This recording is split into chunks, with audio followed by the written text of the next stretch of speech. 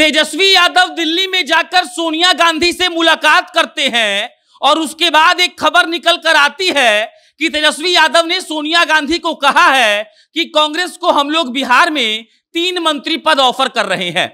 उसके बाद सूत्रों से मालूम चलता है कि सोनिया गांधी और तेजस्वी यादव की बातचीत होती है और थोड़ी बहुत सहमति बन जाती है, लेकिन पेच यहाँ फंस जाता है आकर कि सोनिया गांधी आज यानी कि शनिवार को एक बैठक करने वाली हैं। बैठक में राष्ट्रीय स्तर से लेकर प्रदेश स्तर के नेता मौजूद होंगे और उसके बाद इस बात पर चर्चा की जाएगी कि बिहार में कांग्रेस वालों को तीन मंत्री पद लेना चाहिए कि नहीं। डे फ़र्स्ट से जब से सरकार बनने की बात चल रही थी तो पहला बात जो सामने आया था कि कांग्रेस को चार मंत्री पद दिया जाएगा। उसके बाद तेजस्वी यादव दिल्ली जाते हैं। दिल्ली जाते हैं तो सोनिया गांधी से मुलाकात होती है और सोनिया गांधी से जब मुलाकात होती है तो सुनने में ये आ रहा है कि तेजस्वी यादव ने तीन मंत्री पद का ऑफ़र दिया। और उसके बाद सोनिया गांधी से उनकी बातचीत हुई भी। लेकिन अंतिम फैसला अभी तक नहीं हुआ है, इसीलिए उहापोह की स्थिति है। अंतिम फैसला आज होगा। सोनिया गांधी आज मीटिंग करने वाली है राष्ट्रीय स्तर के नेताओं के साथ और प्रदेश स्तर के नेताओं के साथ और बातचीत करके ये इस बात का मसला का हल निकाला जाएगा कि क्या उनको शामिल होना है बिहार के महागठबंधन की सरकार में तीन मंत्री पद के साथ।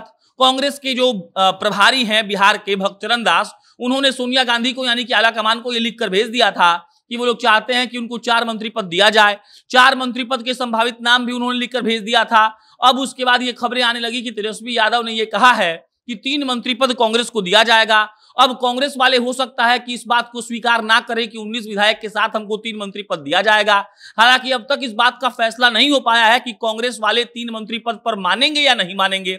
आज सोनिया गांधी बैठक करेंगी। बैठक में भाग लेने के लिए मदन मोहन झा कल ही रात को दिल्ली पहुँच गए हैं और उसके बाद बैठक में निर्णय लिया जाएगा कि कांग्रेस वाले मंत्री पद में, मंत्री पद लेते हैं या नहीं।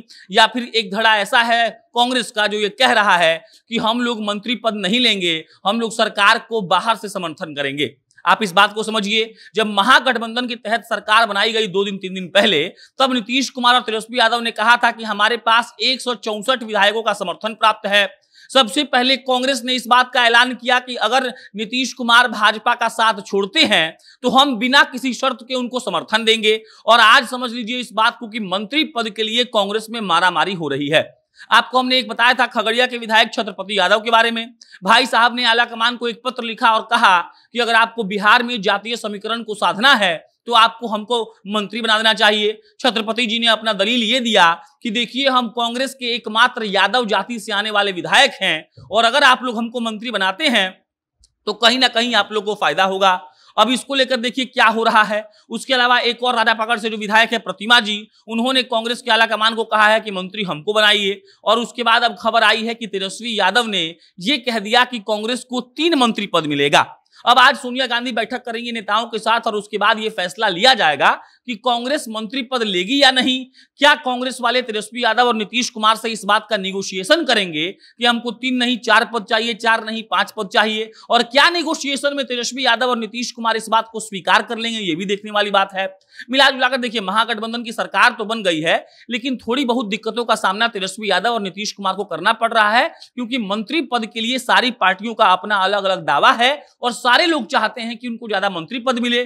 कई लोग तो विभाग को लेकर भी सीरियस है उनको लगता है कि मलाईदार विभाग हमको मिलना चाहिए। बहरहाल आज जब कांग्रेस की बैठक हो जाएगी, उसके बाद ये क्लियर हो जाएगा कि कांग्रेस वाले तीन मंत्री पद पर मानते हैं कि नहीं? कांग्रेस वाले तीन मंत्री पद से ज़्यादा के लिए नेगोशिएशन करते हैं कि नहीं? या फिर कांग्रेस वाले ये कहते हैं कि देखिए भाई साहब, हम आपको बाहर से समर्थन देंगे, लेकिन मंत्री पद नहीं लेंगे। मतलब ये कि अगर कांग्रेस वाले अगर बाहर हो जाते हैं तो कहीं ना कहीं ये कहा जा सकता है कि महागठबंधन भी धीरे धीरे ही सही कमज़ोर होने लगी है। क्योंकि जब ये कहा गया कि एक विधायक हमको समर्थन दे रहे हैं, तब तो मंत्री पद वाली बात कोई नहीं थी। और आज सिर्फ़ मंत्री पद के लिए अगर महागठबंधन कमज़ोर पड़ जाए तो आप ये समझ सकते हैं कि जो विपक्ष को एकजुट करने की बात नीतीश कुमार और तेजस्वी यादव पूरे देश भर के लिए कह रहे हैं, वो बिल्कुल खोखला साबित हो जाएगा। बहरहाल मीटिंग के बाद सब कुछ क्लियर हो जाएगा कि क्या होने वाला है और क्या नहीं। आप हमसे जुड़े रहिए, हम आपको पल पल की अपडेट बताते रहेंगे। बहुत बहुत धन्यवाद।